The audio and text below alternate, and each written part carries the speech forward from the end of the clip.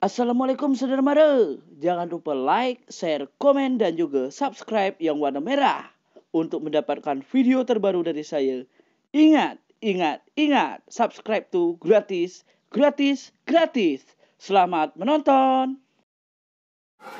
Assalamualaikum, selamat pagi saudara mara.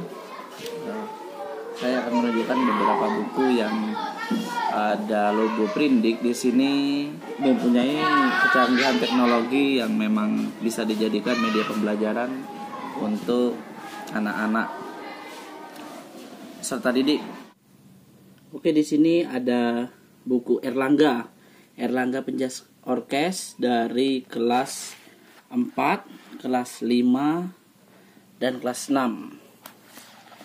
Nah, ini adalah buku-buku e, pembelajaran dari penerbit Erlangga yang mempunyai nih kita bisa lihat ada logo Prindik di sini. Nah, ada logo Prindik. Jadi buku yang sudah mempunyai logo Prindik seperti ini kita bisa lihat di dalamnya ada seperti barcode atau kode QR. Ya, di sini kita bisa lihat. Nah, ini seperti ini. Ini. Adapun e, fungsi dari kode QR ini, nah ini ada tulisan ayo lihat videonya. Di sini ada perintah scan me. Nah, di sini kita bisa memanfaatkan kode ini pada setiap pembelajaran-pembelajaran ini kita scan menggunakan Android. Nah, di sini nantinya setelah kita scan akan timbul link dan link itu adalah link situs untuk kita uh, kunjungi yang menampilkan sebuah video media pembelajaran. Ini akan mempermudah kita untuk mengajarkan kepada anak.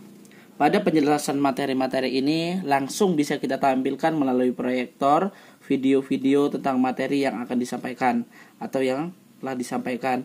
Nah, anak akan lebih uh, senang, akan lebih mudah untuk mempelajari materi-materi yang kita ajarkan karena akan ditampilkan juga melalui video-video. Kita buka menu pada Android kita. Kita cari aplikasi kamera. Ya, kita pilih kamera. Oke, kita arahkan kamera kepada barcode. Ah, nah, timbul link, kita klik link, akan keluar di sana link, lalu pilih buka situs. Kita pilih uh, Google Chrome. Videonya mulai menendang bola dengan punggung kaki. Ya, ini adalah salah satu contoh video yang terdapat di dalam buku pembelajaran. Ini kita tampilkan di papan tulis melalui proyektor. Ini akan membuat pembelajaran di kelas semakin menarik dan tidak ada rasa bosan.